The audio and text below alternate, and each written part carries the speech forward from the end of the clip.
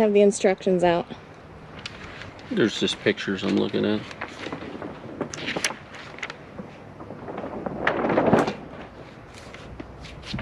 So what are we doing today? Well, we're trying to get the uh, doors on, the end panels on, and get it ready for the cover to go on. And then the roll-up sides. It's supposed to get cold again. A couple days of warm weather. Half the parts aren't labeled, so we got to sort that out. The instructions are terrible. These Tek screws they give you about 30% are garbage. So there's a lot of sorting and looking and A trying few, to figure it out. a few setbacks to deal with. Yeah. But I think it'll be nice when I get some things fixed. So one of the things on the end panels, they don't have anything on the bottom, right? So your panel, your cover would just not be secured on the bottom. So I'm gonna put some two by sixes across there, some treated boards so I have something to anchor to. The doors just screw on on the outside, which is kind of hokey. So I may end up putting a treated two by four to just kind of sandwich it to hold it. But that'll work for now these pipes or with the roll-up doors will go between. So you just suspend these up in the air and then use our wonderful Tek screws and screw that to it. So that's kind of a hillbilly rig, I think. Um, hey, it's fun. It'll be good thankful for the tractor, the good weather, a marginal help. The clamps are handy, so if you ever go to put plastic on, get you some of those wood clamps. They can help hold the stuff while you get it screwed on. It's good times.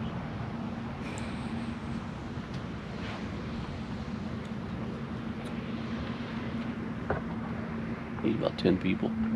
It'd be nice, wouldn't it? Yeah.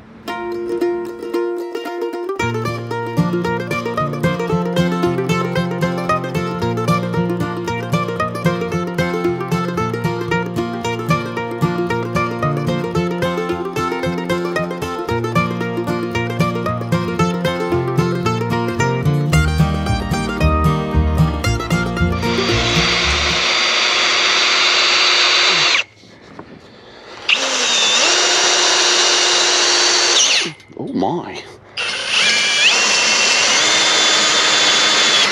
Oh goodness.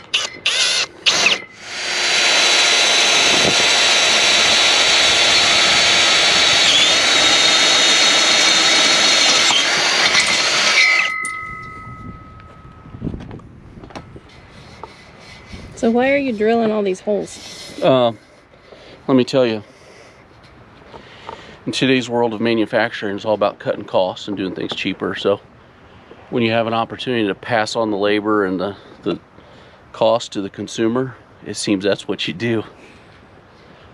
So, we've had to drill about 8,000 holes, put in 12 million Tek screws, and uh, it's fun. It would have been a lot easier if they just would have punched the holes in where they needed to be. But it's okay. It goes. So goes. So goes. But what these holes are for, these are for J bolts that go through. So you zigzag some string through these grommets, and uh, then when you got it closed up, or when it's windy, I guess you just hook it around the the J bolt, So it doesn't do that. so it doesn't do that.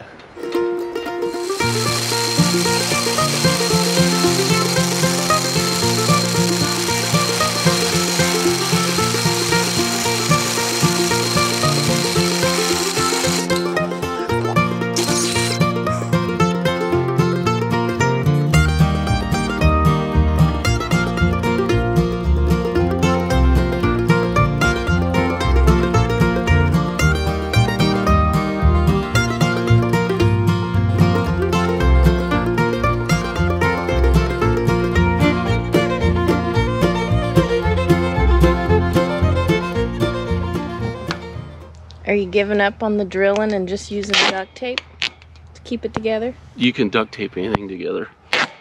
This isn't just any regular duct tape. This is 3M extra strength waterproof gray duct tape by the roll. No, you tape it so the sharp edges of the metal don't cut your plastic or your material. I think we removed all the sharp edges, but I can always cut the tape off when we're done if I want.